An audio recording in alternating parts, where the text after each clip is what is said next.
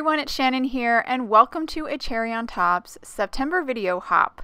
This month's theme is favorite technique, and mine's an oldie but a goodie, ink blending. But we're not just going to ink blend a background. Today I'm going to share with you some ways to ink blend die cuts and even add texture with ink blending.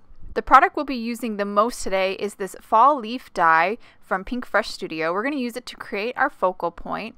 I'm going to grab the die here and die cut four sets of leaves out of some white cardstock. It's heavyweight cardstock, so either between 80 or 110 will work.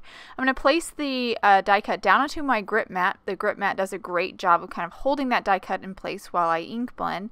And I'm going to start by ink blending the tips of the leaves in Barn Door Distress ink. Once I finish with that, we'll move on to a different shade. This is Seedless Preserves. And I'm going to go ahead and ink blend the stem and the rest of the leaf and kind of create a little gradation where the red meets the purple.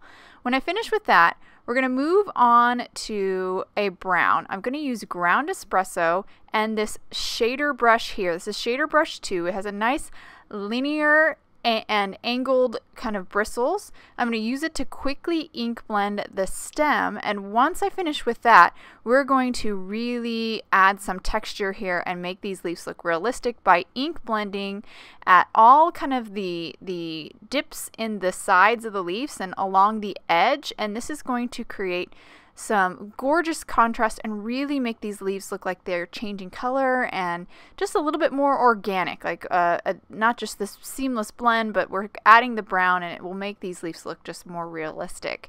I'm move, making my way here around the edges of all the leaves with this ground espresso and once I finish with that I'll hold up to the camera here so you can get a good look. It really does enhance the the texture of the leaves and makes it look like a real uh, sprig of leaves.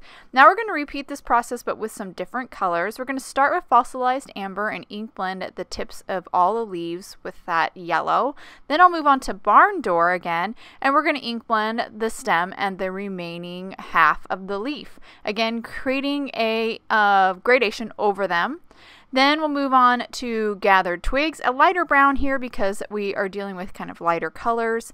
Ink blend that stem and then I'm going to pick up that sprig of leaves again and with my number two shader brush, ink blend along the edges, definitely going in wherever that, that leaf edge kind of dips in more, go into the interior of the leaf a little bit. That, that really does enhance that uh, texture and once I finish with that gathered twigs, we have another sprig of leaves done.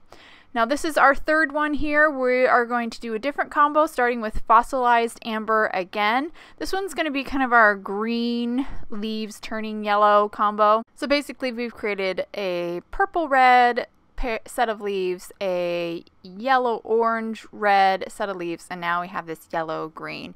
And the reason why I chose to do kind of each set of leaf at different uh, combination of colors is because we'll have more contrast that way. If I use the same colors on every one of the leaves, it would just kind of look all jumbled. This way you can really start to see the leaves separately because they are actually like different colors.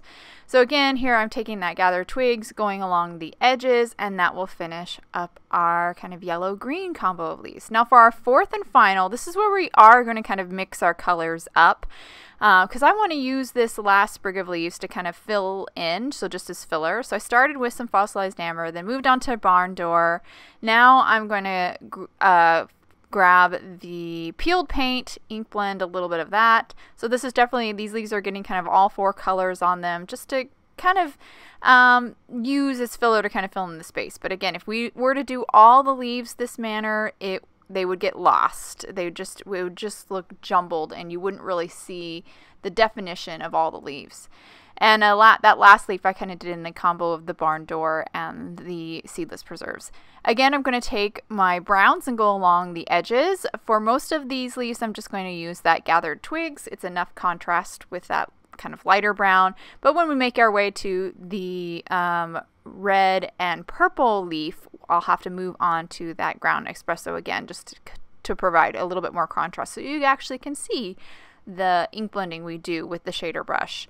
Now that I've finished doing the browns, we are all done with our ink blending. I think these leaves turned out awesome. They really do look like real leaves, which is so pretty.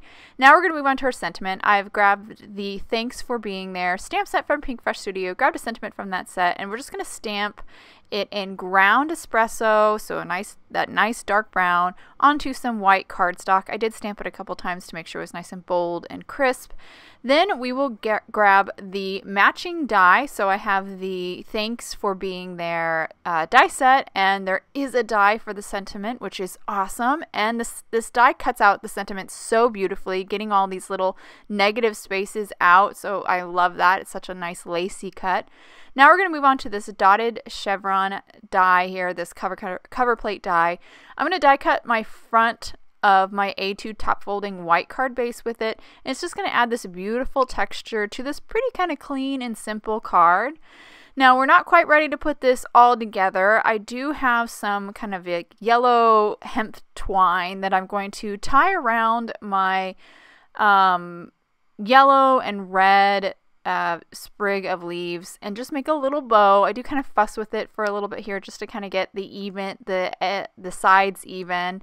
And once I get that bow the way that I like it, we will be ready to kind of put all of our elements together and start to create our focal point. I'm going to start by just arranging my kind of three solid colored leaves. So that purple red one, that yellow green, and the yellow red. Then I'll move on to my multi multicolor um, sprig of leaves and kind of cut the leaves free from the stem and I'll fill in some of the areas just to make this focal point look a little fuller, a little bit bigger. And I have one more leaf here to place, but I do want it to be behind the sentiment. So I'm going to kind of place, put my sentiment down and then tuck that leaf behind. Then we're going to grab a piece of press and seal place it over all those die cuts and make sure that um, all those uh, single leaves are really stuck because those are the ones that for some reason just don't seem to get stuck to that press and seal. And then I will remove my card and then we will start to add some foam adhesive. I have these one eighth of an inch wide um, adhesive strips that I'm going to start to add. This is a great size because they're nice and small and they fit nicely behind our leaves. I do place some of the foam adhesive behind the sentiment as well. And now I'm just removing the backing on all of my little foam adhesive strips grab my card base again and then I am going to place down my focal point and my sentiment, press all over, and then carefully remove that press and seal. And that will actually complete the card. I'll hold up to the camera here so you can get a good look at those beautiful fall leaves. I love all the texture, especially that brown along the edges really adds a lot. And again, it does make them look super realistic. I hope you guys enjoyed today's card and video. If any questions with the products I use, please check out the links below in the description. Thank you so much for watching, and I hope you have a wonderful day day.